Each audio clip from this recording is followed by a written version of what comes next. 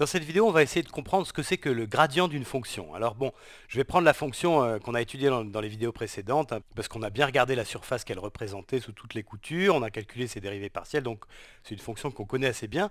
Donc je vais parler d'abord du gradient de cette fonction-là.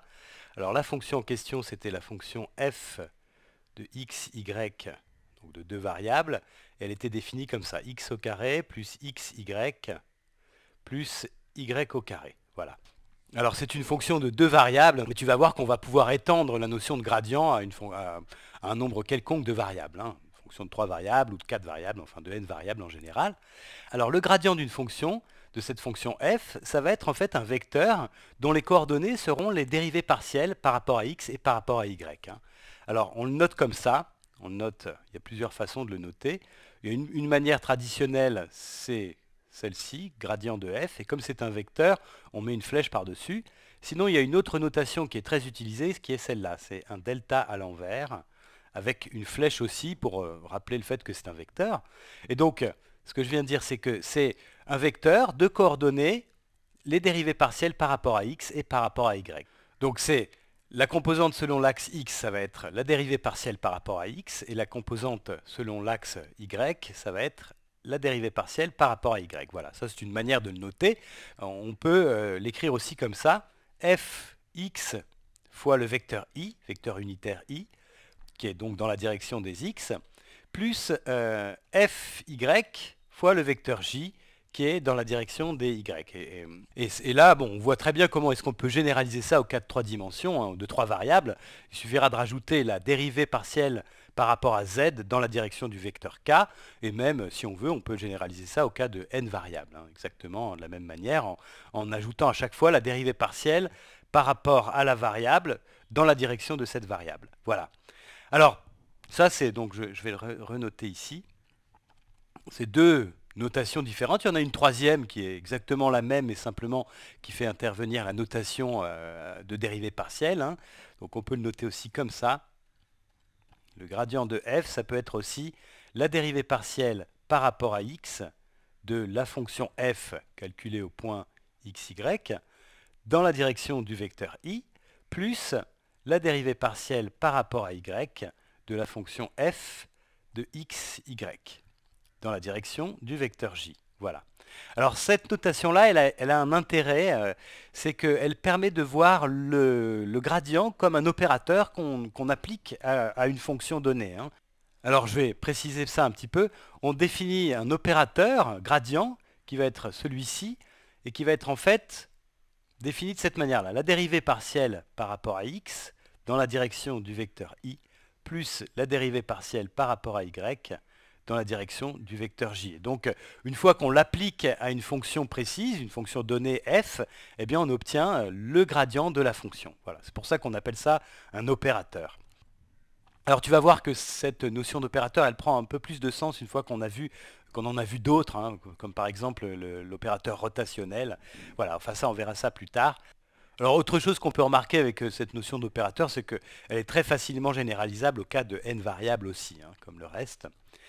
Alors bon, avant d'aller voir euh, ce que c'est que ce que signifie le gradient d'une fonction, ce que ça représente, on va déjà calculer le gradient de notre fonction ici. Hein. Donc en fait, ça revient à calculer les dérivées partielles euh, par rapport à x et par rapport à y. Ça, on l'a déjà fait dans une vidéo précédente, donc je vais aller un petit peu vite. Donc je vais réécrire ça. Le gradient de f, c'est donc la dérivée partielle par rapport à x de f. Donc là, je euh, considère y comme constante. Donc je dérive 2x, euh, x au carré, ça me fait 2x, pardon. Je, dérive ensuite xy, ben, il ne me reste plus que y, hein, puisque y est une constante, donc c'est un coefficient de x. Et euh, la dérivée de y au carré, ça fait 0. Donc il me reste ici 2x plus y. Et ça, c'est la composante dans la direction des i. Voilà plus, alors maintenant je vais calculer la dérivée partielle de f par rapport à y. On avait déjà vu que c'était une expression tout à fait symétrique. Alors x au carré quand je dérive par rapport à y, ça me donne 0. xy quand je dérive par rapport à y, ça me donne x. Et y au carré, ça me donne 2y. Donc finalement, ici, j'obtiens 2y plus x, qui est la composante dans la direction du vecteur j. Voilà. Donc ça, c'est le gradient de notre fonction f. Alors maintenant, on va essayer de voir ce que c'est que ce vecteur, hein. qu'est-ce que ça veut dire que ces composantes, ce que représentent ces composantes et ce que représente le vecteur gradient de la fonction f. Alors déjà, c'est un vecteur hein, euh, qui est fonction des coordonnées euh, x et y, hein. c'est-à-dire que à chaque point de coordonnées x et y, on associe un vecteur particulier qui a ces coordonnées, qui a ces coordonnées là, effectivement. Alors pour voir ça, pour essayer de visualiser ça un petit peu, j'ai préparé un fichier, en fait j'ai tracé la, surface et puis j'ai placé les gradients. Alors je vais te montrer ça. Alors voilà, ça c'est la surface qu'on a déjà regardée plusieurs fois. Là, j'ai retracé la même. Simplement là, le logiciel a choisi des points et à chacun de ces points, il a affiché les vecteurs qu'on a, définis tout à l'heure. Alors bon, voilà, là, ici, ça c'est l'axe des x, hein, tu vois. Donc je peux tourner un petit peu pour voir un petit peu mieux. Voilà, on voit l'axe des X, on voit le, repère ici qui bouge en bas. Alors, en ce point-là, on a tracé ce vecteur ici, qui est en fait, donc la, longueur de ce vecteur, c'est un vecteur dans l'axe des X, euh, dans la direction des X, et sa, norme, c'est la dérivée partielle de f par rapport à x. Hein. Donc là, on a exactement le vecteur euh, dérivée partielle par rapport à x fois le vecteur i. Hein. Donc on a calculé la dérivée partielle de f par rapport à x, c'est-à-dire dans le sens des x euh, croissants, hein, et on l'a prise dans, le, sens du vecteur i. Voilà. Alors de la même manière, ce vecteur qui est là, alors je ne sais pas si tu peux le voir très bien, je vais essayer de zoomer un petit peu pour, voir, pour essayer de le voir un petit peu mieux. Alors, voilà, on rentre à l'intérieur, on zoome. Alors bon là, euh, euh, on voit plus le repère là malheureusement, hein, donc c'est pas très pratique. Bon ça c'est la, direction des x, hein, de l'axe x, et ça c'est la direction de l'axe y. Il faut que tu me crois parce que c'est ce qu'on voyait tout à l'heure. Et donc ça c'est un, vecteur dans la direction du vecteur j, hein, et sa longueur bah, c'est donné par la dérivée partielle de f par rapport à y. Donc ça c'est le vecteur qu'on a calculé tout à l'heure.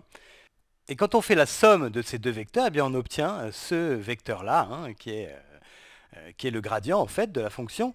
Alors ce qui est intéressant à remarquer c'est que ces trois vecteurs qui sont là en fait ils sont tous les trois horizontaux on peut dire. Ils sont dans un plan parallèle au plan xy. Hein.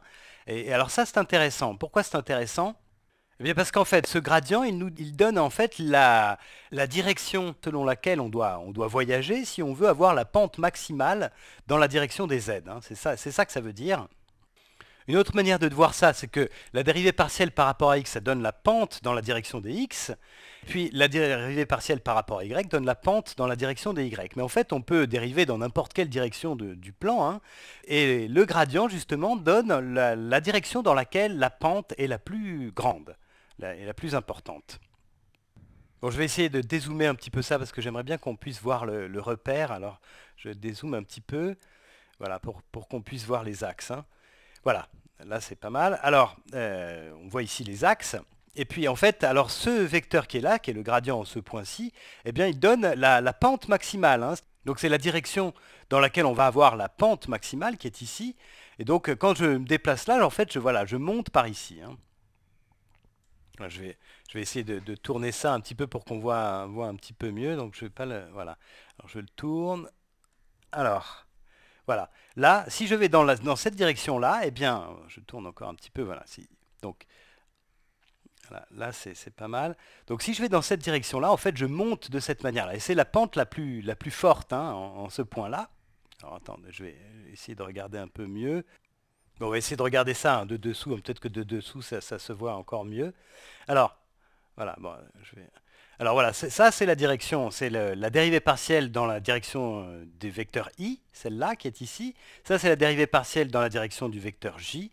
Et quand je fais la somme des deux, j'obtiens le gradient qui est là. Hein. Et ce gradient, il, dit dans quelle direction on va avoir la pente la plus élevée. Alors là, en fait, tu peux remarquer que, ça se voit bien là, les trois vecteurs sont tous les trois dans le plan, ils sont horizontaux, hein, ils sont dans le plan xy. Mais si je me déplace dans cette direction-là, ben c'est euh, là où je, c'est la direction dans laquelle je vais avoir euh, une, euh, une, augmentation des plus, la plus forte. Hein. Alors là, on va, on va regarder ça d'en haut. Hein. On va regarder ça, voilà, là c'est, on voit le plan XY en fait, on voit la surface du dessus. Alors si je me déplace dans cette direction-là, si je me mets ici, que je me déplace dans cette direction, eh bien ça va être dans cette direction-là que je vais avoir, euh, je vais monter le plus rapidement. Hein. Alors ici c'est pareil, mais alors c'est intéressant là, parce que ce qu'on peut voir ici, c'est que euh, les composants ne sont pas les n'ont pas du tout la même longueur. Hein. Donc euh, le vecteur gradient ici, il est un peu plus proche du, vecteur i, donc c'est dans une direction un peu plus proche de la direction des x qu'on va avoir la pente la plus élevée. Hein. Une autre manière d'imaginer ça, c'est que euh, tu peux t'imaginer grimpant sur une colline, et puis le, gradient de cette fonction, ça va en chaque point te donner la direction dans laquelle euh, tu vas grimper le plus vite. En fait, tu vas aller, la pente sera plus, la plus raide pour aller euh, le plus rapidement au sommet. Voilà, bon, euh, ben, j'espère que ça t'aura aidé à comprendre un peu ce que ça veut dire que le, gradient. On va continuer à travailler là-dessus euh, dans d'autres vidéos, mais je pense que alors le côté mécanique de, calcul du gradient d'une fonction, c'est vraiment pas quelque chose de compliqué. Ce qui est plus délicat, c'est d'arriver à comprendre effectivement ce que ça veut dire. Donc là, j'espère que euh, ce qu'on vient de faire t'aura aidé. Et de toute façon, on se revoit pour la prochaine vidéo.